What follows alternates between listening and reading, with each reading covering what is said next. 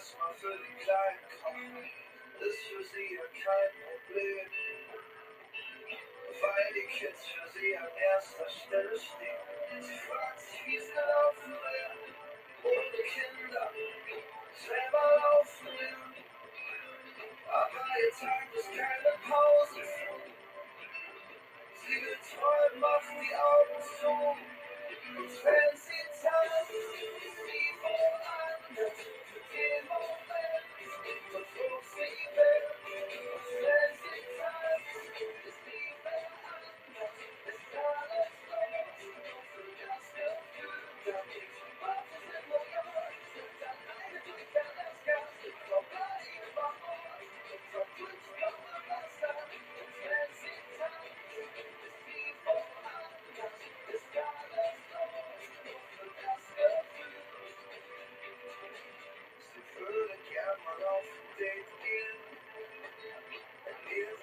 es bleibt nicht nur vor dem Spiegel stehen, aber ob sie sich das traut, selbst wenn die Zeit das mal erlaubt.